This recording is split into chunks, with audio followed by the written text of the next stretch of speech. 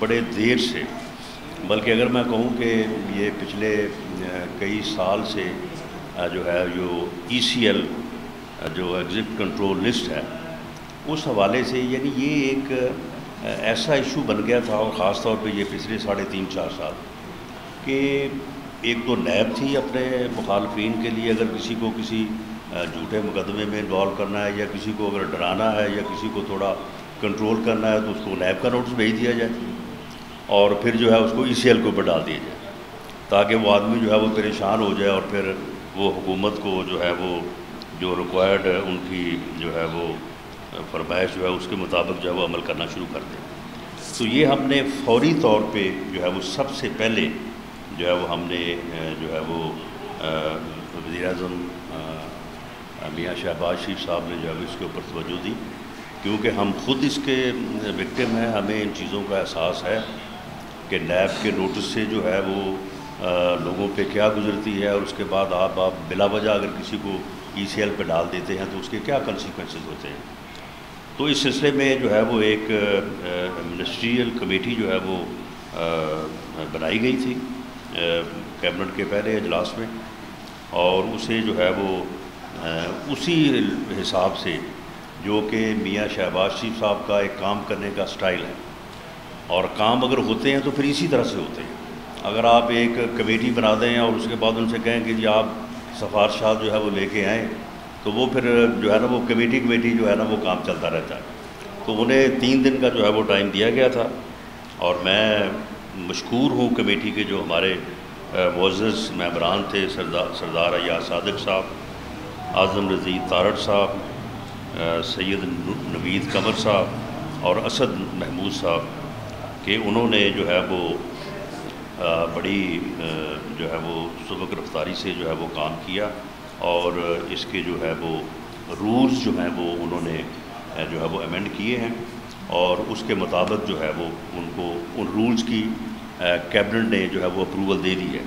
और इस वक्त वो रूल जो हैं वो इम्प्लीमेंट हैं और उनके ऊपर उसके मुताबिक जो है वो अमल जो है वो हो रहा है। तो इसमें पहली बात यह है कि कोई भी बंदा जिसको गवर्नमेंट जो है वो, जिस गवर्नमेंट ने एग्ज़िट कंट्रोल लिस्ट में डाला हुआ है, अगर उसको 120 दिन से ज़्यादा हो गया है तो वो तमाम लोग जो हैं वो एग्ज़िट कंट्रोल लिस्ट से जो है वो डिलीट हो जाएँगे। उनका नाम जो है वो एग्ज़िट कंट्रोल लिस्ट से जो है वो निकल जाएगा। इस वक्त एग्ज़िट कंट्रोल लिस्ट में जो है वो चार लोग हैं। इनमें से तकरीबन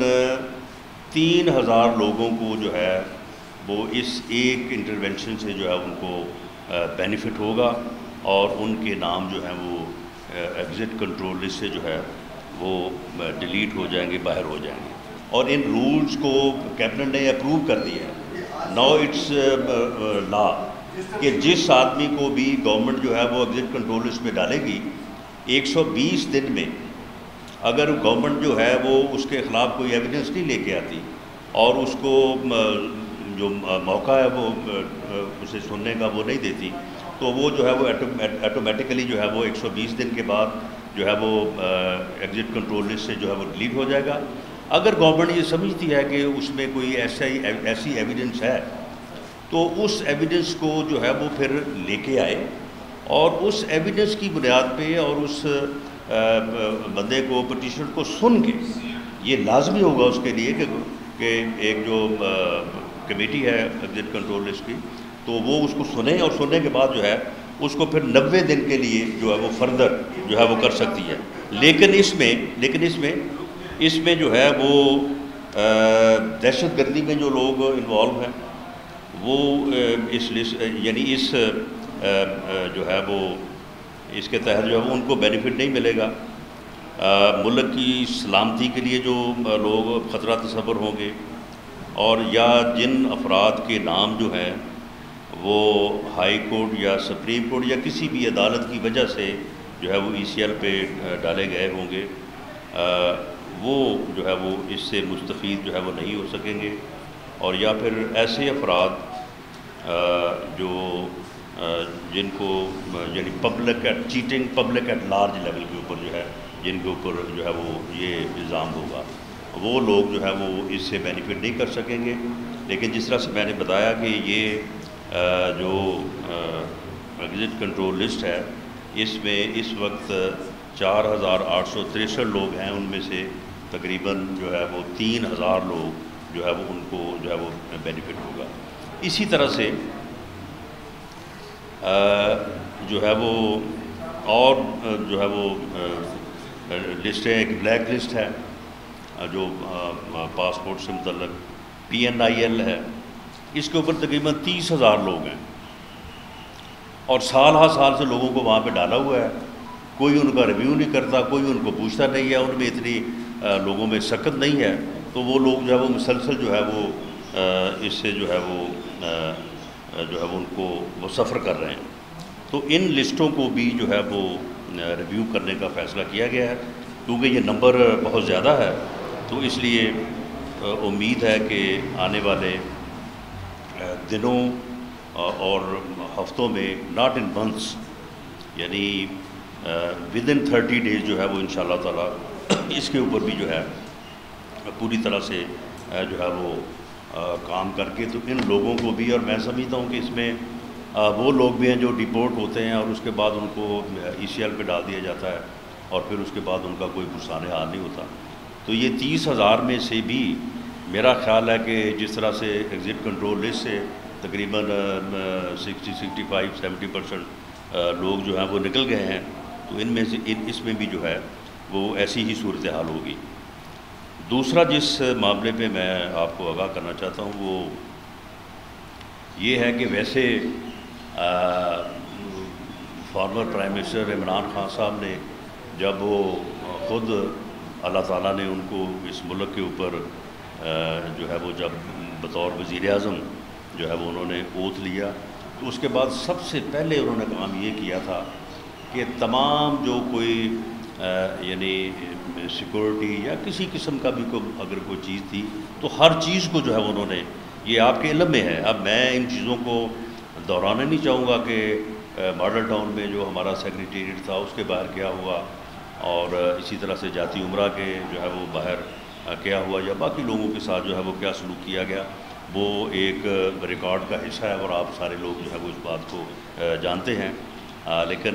मैं ये आपके सामने लाना चाहूँगा कि उनकी तरफ़ से गवर्नमेंट को ये लिखा गया था कि जी उनको जान को ख़तरा है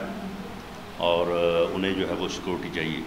तो उन्हें वही सिक्योरिटी जो है वो दी गई है जो आ, उनके सेक्रेटरी आज़म खान साहब ने जो है उनके लिए किसी ज़माने में जो है वो मंजूर की थी या उन्होंने चाहा था कि इस तरह की सिक्योरिटी जो है वो उनको जो है वो मिलनी चाहिए। तो उन्हें फुल प्रूफ सिक्योरिटी जो है, वो देने के जो है वो ऑर्डर्स प्राइम मिनिस्टर साहब ने किए थे,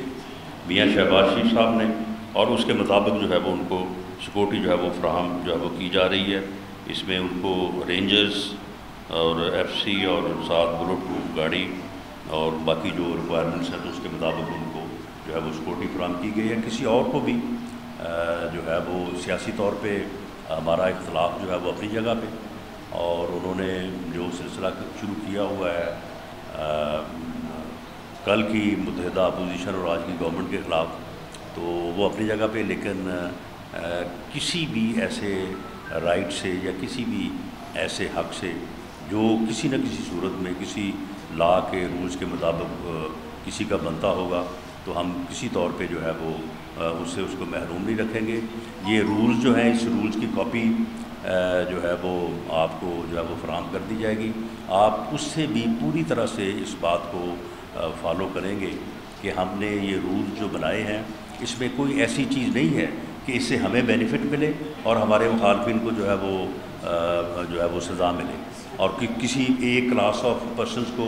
जो है वो फ़ायदा हो और दूसरी क्लास ऑफ़ पर्सन जो है वो उसको जो है वो ना हो। वो बिल्कुल इस तरह से मेरिट के ऊपर जो है वो बनाए गए हैं कि उससे जिसका भी जो है वो फ़ायदा पहुँचता है, जिसका हक बनता है, उसको पहुंचेगा और इसमें इस बात की कोई गुंजाइश नहीं है कि जी एक स्पेसिफिक क्लास ऑफ़ पर्सन या जो लोग गवर्नमेंट से मुतलका हों, उनको तो फ़ायदा पहुँचे जो अपोजिशन में हो, वो जो है वो उससे, जो है वो सफ़र करें।